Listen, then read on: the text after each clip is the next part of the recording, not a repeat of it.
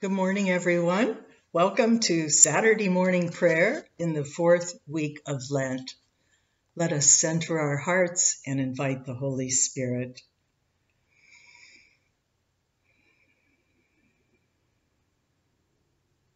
Lord, open our lips, and our mouth shall proclaim your praise. Glory to the Father, and to the Son, and to the Holy Spirit as it was in the beginning, is now, and will be forever. Amen. The Lord is full of compassion and mercy. Come, let us adore him. Come, let us sing to the Lord. Let us shout for joy to the rock of our salvation. Let us come before his presence with thanksgiving and raise a loud shout to him with psalms. For the Lord is a great God and a great king above all gods.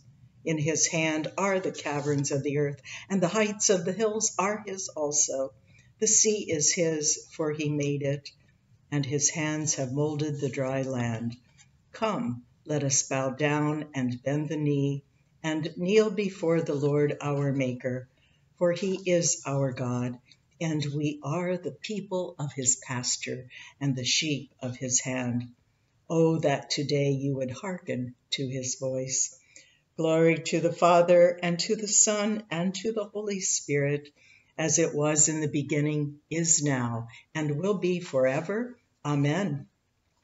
The Lord is full of compassion and mercy. Come, let us adore him.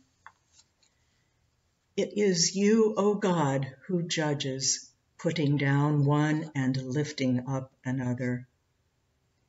We give you thanks, O God, we give you thanks, calling upon your name and declaring all your wonderful deeds. I will appoint a time, says God. I will judge with equity. Though the earth and all its inhabitants are quaking, I will make its pillars fast. I will say to the boasters, Boast no more. And to the wicked, do not toss your horns, do not toss your horns so high, nor speak with a proud neck, for judgment is neither from the east nor from the west, nor yet from the wilderness or the mountains. It is God who judges. He puts down one and lifts up another. For in the Lord's hand there is a cup full of spiced and foaming wine, which he pours out. And all the wicked of the earth shall drink and drain the dregs. But I will rejoice forever. I will sing praises to God of Jacob. He shall break off all the horns of the wicked, but the horns of the righteous shall be exalted. Glory to the Father, and to the Son, and to the Holy Spirit as it was in the beginning, is now, and will be forever. Amen. It is you, O God, who judges, putting down one and lifting up another. I will create a new heart in you and breathe into you a new spirit. I will take you away from among the nations, gather you from all the foreign lands, and bring you back to your own land. I will sprinkle clean water upon you and purify you from false gods and uncleanness. A new heart I will give you, and I will place a new spirit within you. I will take the stone heart from your chest and give you a heart of flesh. I will put my spirit within you to help you walk my laws and cherish my commandments and do them. You shall be my people, and I will be your God. Glory to the Father, and to the Son, and to the Holy Spirit, as it was in the beginning, is now, and will be forever. Amen. I will create a new heart in you and breathe into you a new spirit. Rise up in judgment, O God, and save all the oppressed of the earth. In Judah is God known. His name is great in Israel. At Salem is his tabernacle, and his dwelling is in Zion. There he broke the flashing arrows. The shield, the sword, and the weapons of battle, how glorious you are! More splendid than the everlasting mountains, the strong of heart have been despoiled, they sink into sleep. None of the warriors can lift a hand at your rebuke, O God of Jacob. Both horse and rider lie stunned. What terror you inspire! Who can stand before you when you are angry? From heaven you pronounced judgment. The earth was afraid and was still when God rose up to judgment and to save all the oppressed of the earth. Truly, wrathful Edom will give you thanks, and the remnant of Hamath will keep your feasts. Make a vow to the Lord your living God and keep it. Let all around him bring gifts to him who is worthy to be feared. He breaks the spirit of princes and strikes terror in the kings of the earth. Glory to the Father, and to the Son, and to the Holy Spirit, as it was in the beginning, is now, and will be forever. Amen. Rise up in judgment, O God, and save all the oppressed of the earth.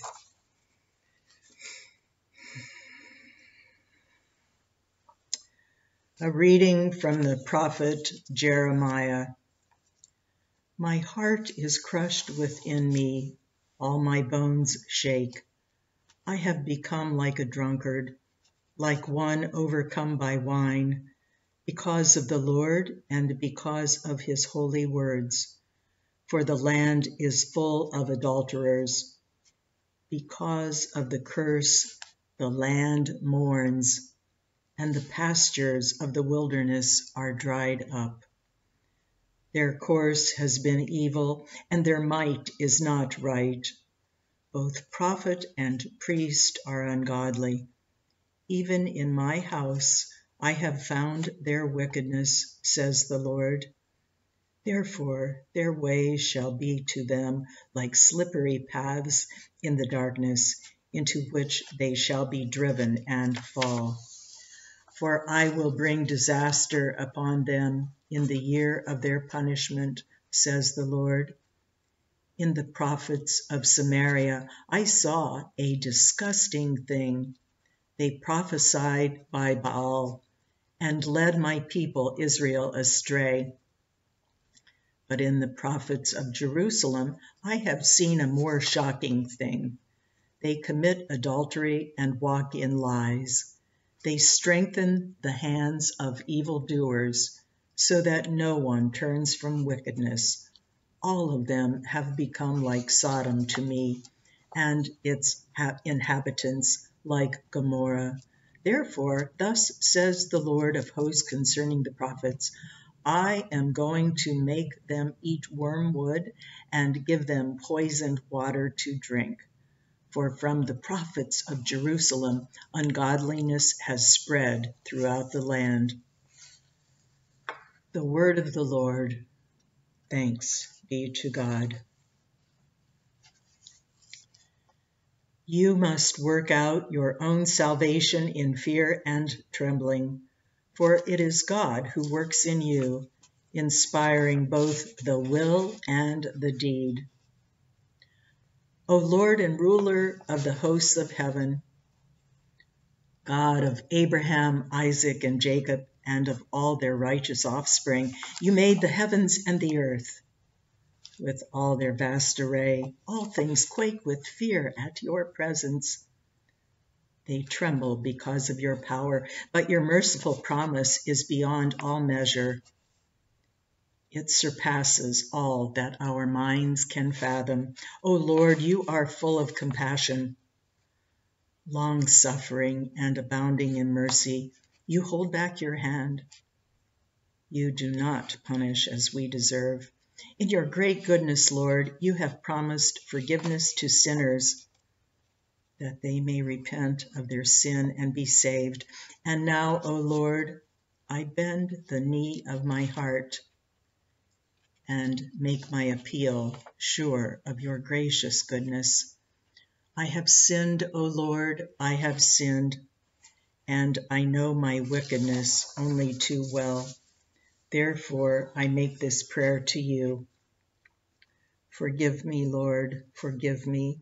Do not let me perish in my sin, nor condemn me to the depths of the earth.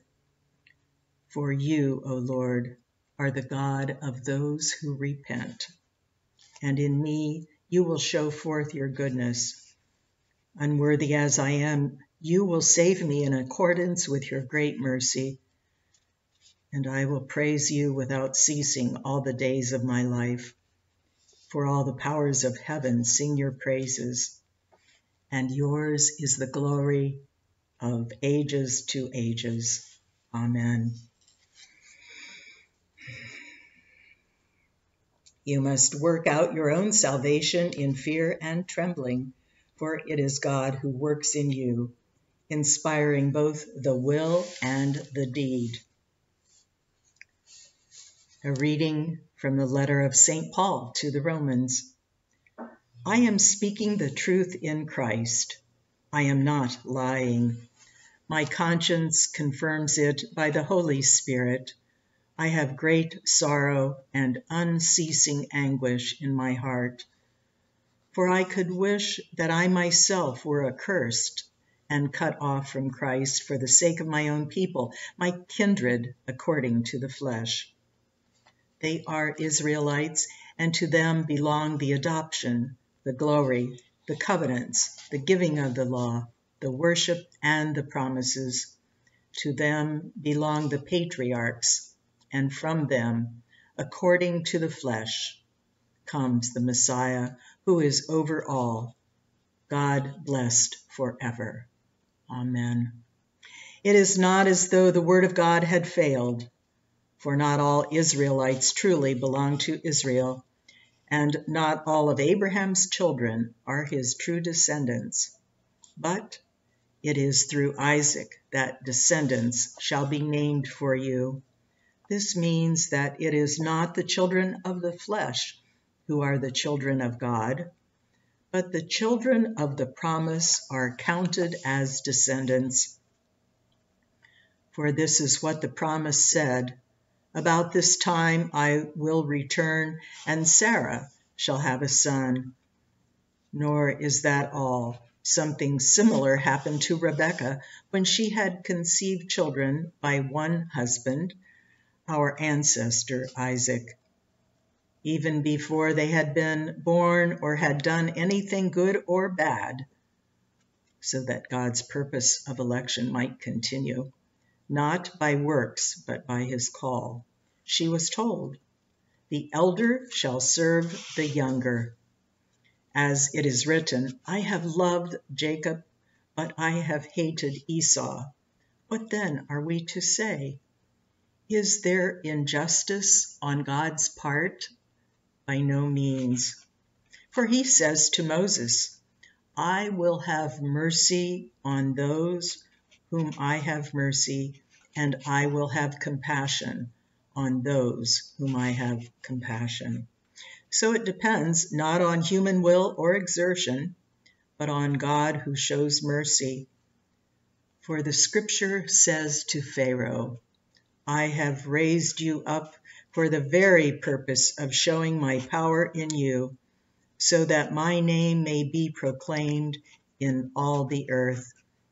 So then he has mercy on whomever he chooses, and he hardens the heart of whomever he chooses. The word of the Lord. Thanks be to God.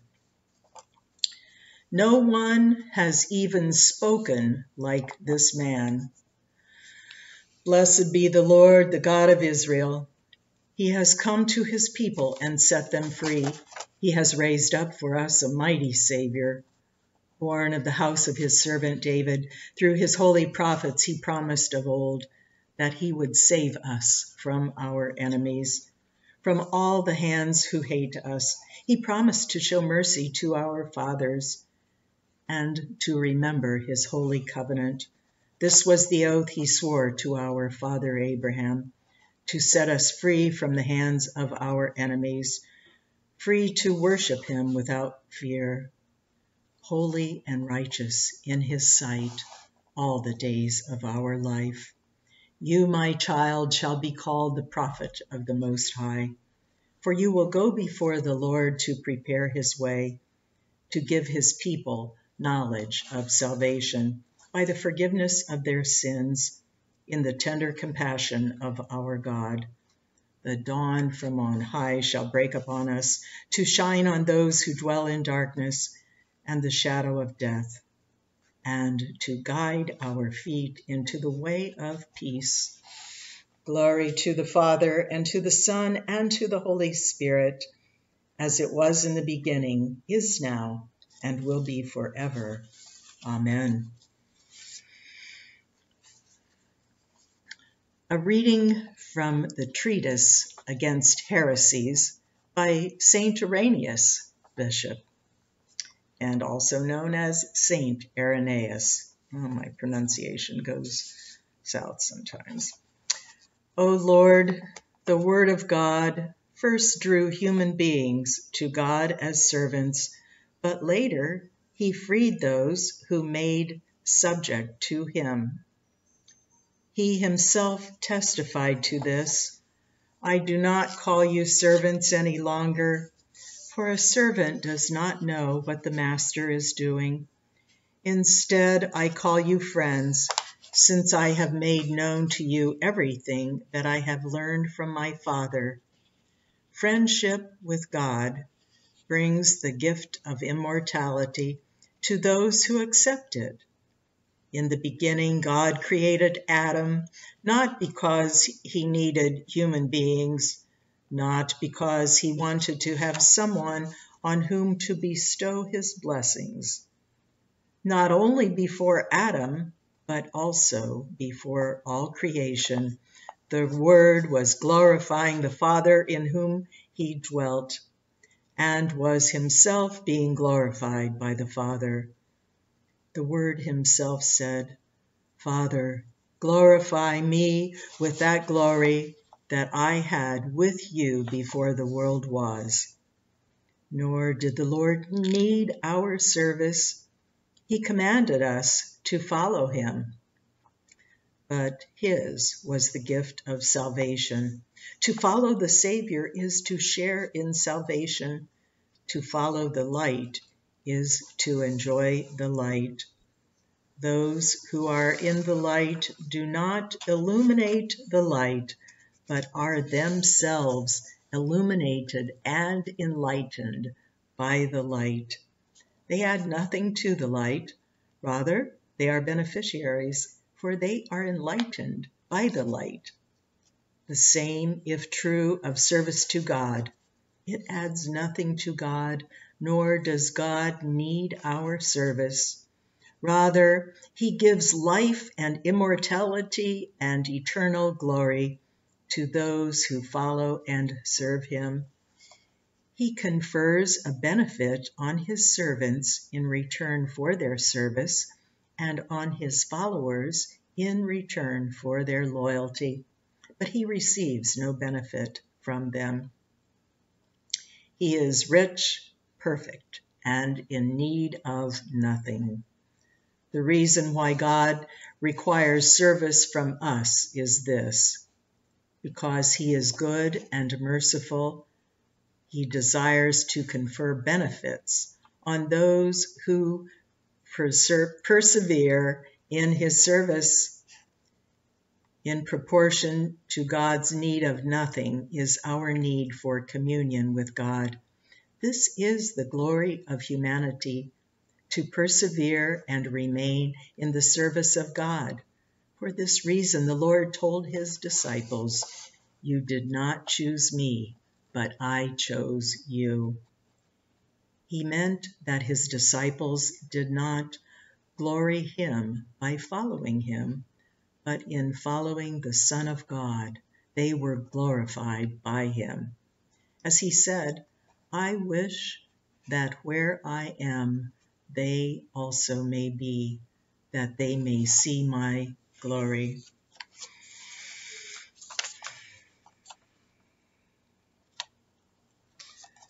I believe in God, the Father Almighty, creator of heaven and earth. I believe in Jesus Christ, his only Son, our Lord.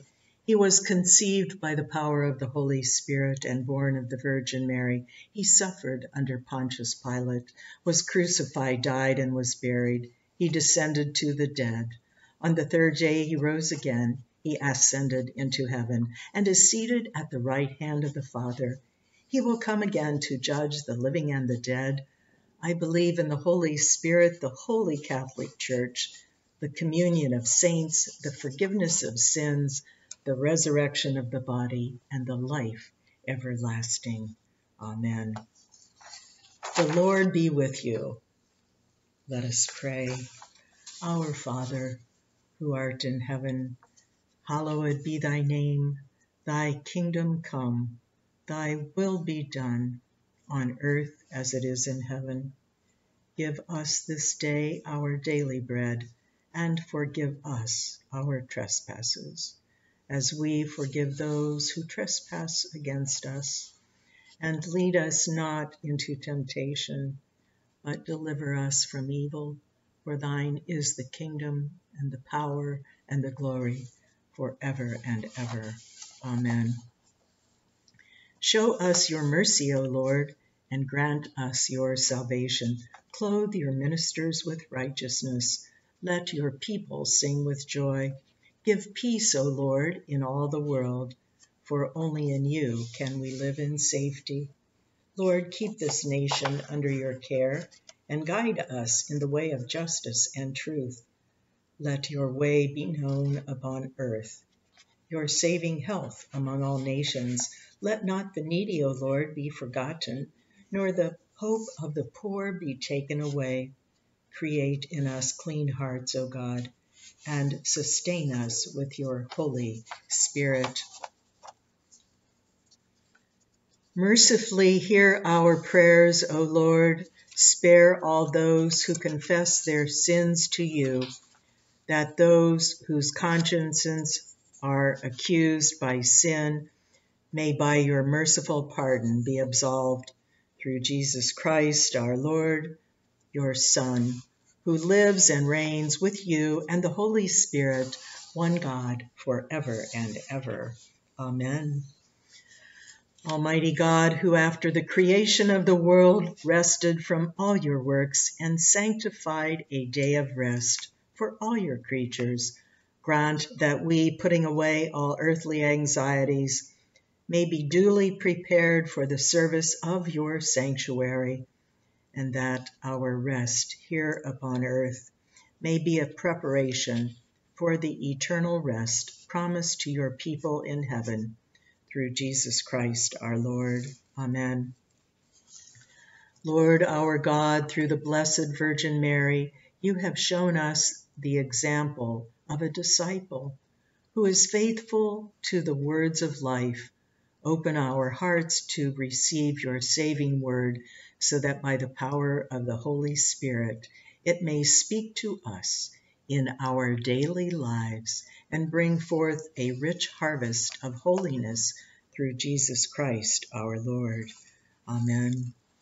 O God, you have made of one blood all the peoples of the earth, and sent your blessed Son to preach peace to those who are far off and to those who are near. Grant that people everywhere may seek after you and find you. Bring the nations into your fold. Pour out your Spirit upon all flesh, and hasten the coming of your kingdom through Jesus Christ our Lord. Amen. I invite your intercessions, petitions, and thanksgivings, and you may place them in the chat, even though this is pre recorded. Gracious God, we thank you for the blessings of Lent. We thank you for the weather that is turning nicer. We pray for all of those who are cold this day, for those who are without fear, for anyone who suffers in body, mind, and spirit. We pray for all those suffering with coronavirus. We pray for those who have died for coronavirus. And we pray for all who suffer in body, mind, and spirit, which I think I already said.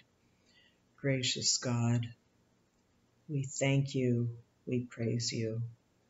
We pray especially for the Holy Catholic and Apostolic Church.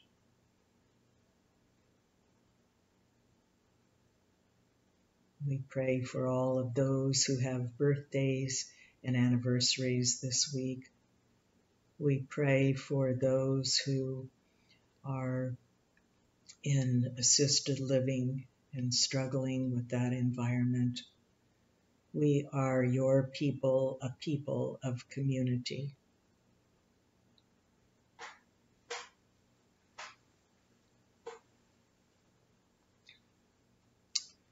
And now let us join together in the act of reception of spiritual Holy Communion.